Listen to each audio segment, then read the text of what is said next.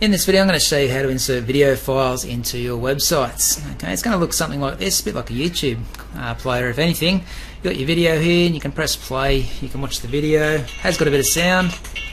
Well, we're at Caloundra on the Sunshine Coast. Okay, you get the idea. You can mute it, you can scrub through it, you can adjust the volume, you can even go into full screen. Okay, so a handy little player. Use a bit of HTML5 to get this working. So what we're going to do to get started today is pop into our accounts and make a new video folder up and inside of that you just need a copy of the video you intend to use in this uh, website. Okay, mine's called video.mp4. Now that's another thing I need to talk about quickly, file types. Uh, there's only three file types that are read by HTML5. Uh, MP4 is one of them, that's what I'm using today. The other file types are the OGG or OGG files and the final type that's acceptable is a WebM file. Okay, those last two I haven't really heard much about, so try and stick with MP4 files to put into your website. Okay, you know they will be acceptable in HTML5 standards. So to get started on the coding, we're going to pop into brackets and make a new document up, and we're going to quickly save that document into our new folder that we just created. It is, and I'm just going to call it video.html. From there we can put in our doc type tag to tell the computer we're about to make a HTML document up and then we can put in our HTML tags to start our web page. In the head section today again we've just got a simple title that's it's going to say video and that's our head section finished.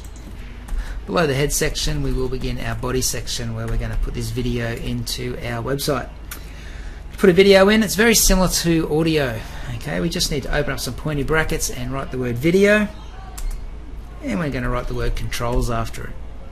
Okay, like with um, the audio, you can replace the word controls, and instead you can write autoplay, and that will allow the video to play automatically as soon as your website loads.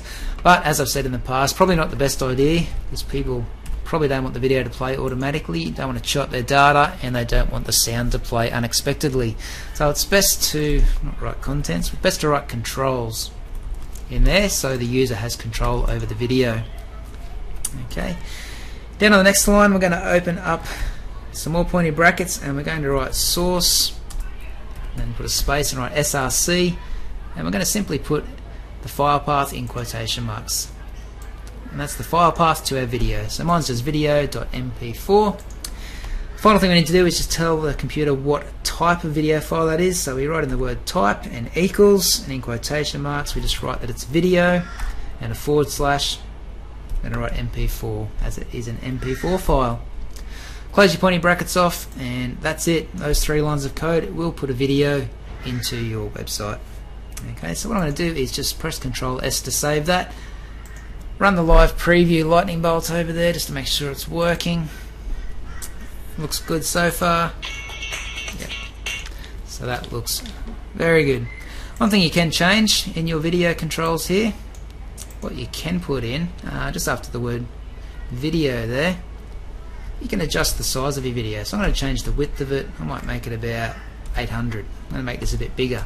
It's going to become a bit pixelated because I am uh, expanding the size of the video, but you should be able to see that you can resize the videos to a larger size.